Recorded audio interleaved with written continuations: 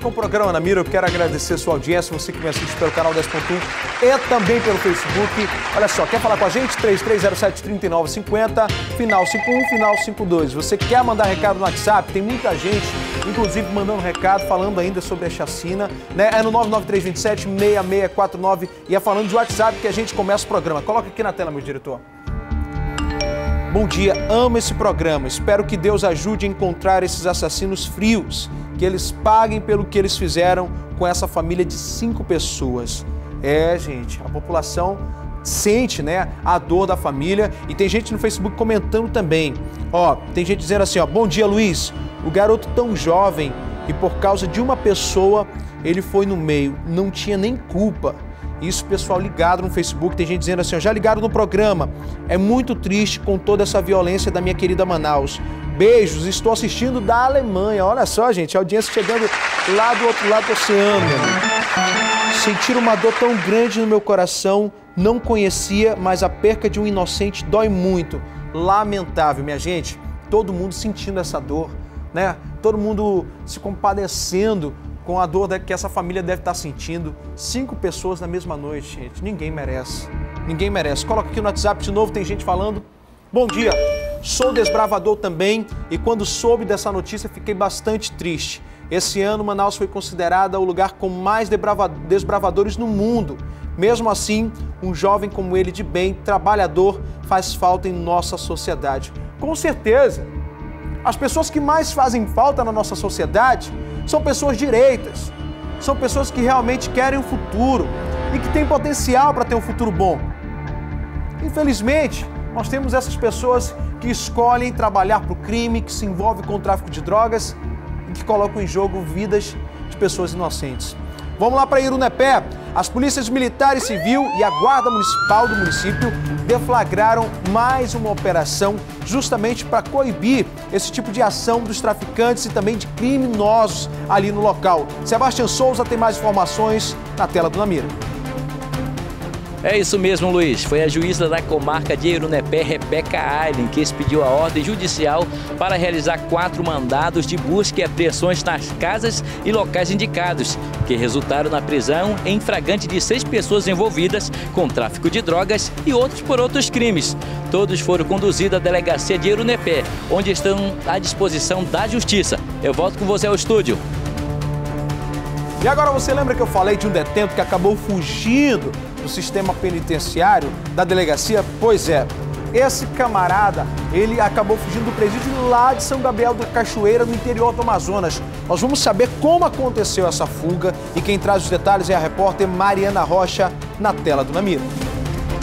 Foi exatamente isso que aconteceu. O Vilmar Azevedo da Cunha, vulgo careca, simplesmente aproveitou o horário de visita lá na delegacia do município de São Gabriel da Cachoeira, no interior do Amazonas, onde ele estava preso. Inclusive, é um condenado da justiça a 16 anos de prisão por homicídio qualificado. Aproveitou o horário da visita e fugiu. A polícia pede que qualquer pessoa que tenha informações aí sobre o Vilmar Cunha, né, o vulgo careca, ele tem inclusive uma tatuagem aí no pescoço, possa ligar aí para o telefone 190, não precisa se identificar. A polícia está em busca desse foragido lá da delegacia de São Gabriel da Cachoeira. Vilmar Cunha. Eu volto com você ao estúdio.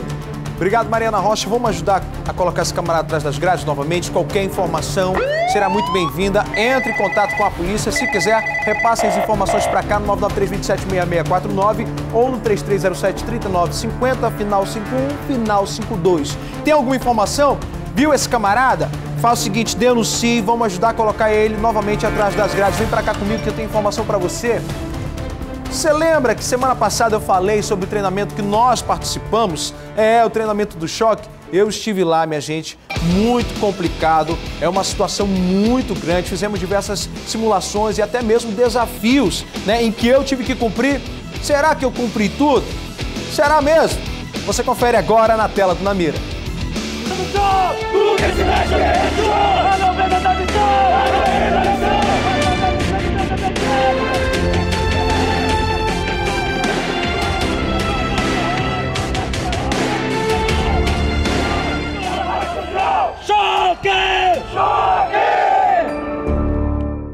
Acabamos de fazer com o pelotão a oração do choque aqui. Agora vamos começar o treinamento. Tô com escudo, tô com bastão, tô com pelotão. Espero que seja algo que possa ficar marcado na minha vida, mas não negativamente. Mas vamos lá. Tenente, para a gente iniciar, explica para quem está em casa é, o que, que, é o choque e o que, de que forma ele trabalha aqui no Amazonas. Primeiramente, bom dia a todos. O Batalhão de Choque é uma tropa pertencente ao Comando de Policiamento Especializado que tem como objetivo atuar nas situações de controle de distúrbios civis, integrações de posse, controle do sistema prisional e praças desportivas. Agora, de que forma o policial que ficar interessado pode ingressar no, no choque? Muito boa sua pergunta. Inclusive, estamos tendo um estágio de ações de choque, conhecido como Boinas Vermelhas, que é uma, uma das formas de acesso ao batalhão de choque. Além dele, nós temos o curso de operações de choque. Mas qual é o tipo de treinamento que vai ser realizado hoje aqui? Hoje, nós iniciaremos mostrando um pouco de nossa rotina, o que os estagiários passam, faremos algumas formações, utilizaremos alguns agentes químicos que são empregados no nosso dia a dia. Agora então eu sei que eu cheguei atrasado, meu pelotão vai ser punido, eu vou ser punido? Na verdade, a tropa de choque ela atua sob comando. Se há um erro de algum pertencente da tropa de choque, quem é punido é o comandante, porque foi ele que falhou nesse controle. No caso é o xerife. No caso, o xerife. Agora eu vou ter que ir para a formação e meu xerife vai ter que ser punido. Xerife, o senhor não tem controle do seu efetivo, né, xerife? Devido ao senhor não ter controle do seu efetivo, o senhor vai receber uma reprimenda. Abra o olho e respire.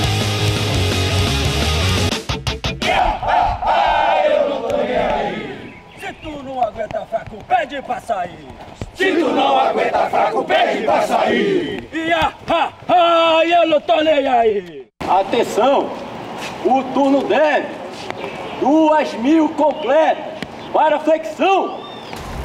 Um, dois, três, quatro, sete, oito, nove, dez. Atenção tudo! Para a posição de abdominal! Um, dois, três, quatro! O treino é meu!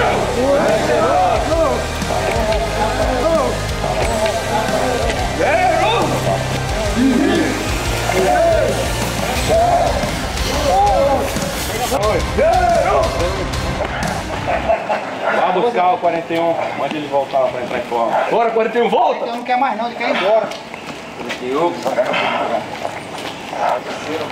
Bora, xerife. Traz o 41 para entrar em forma, xerife.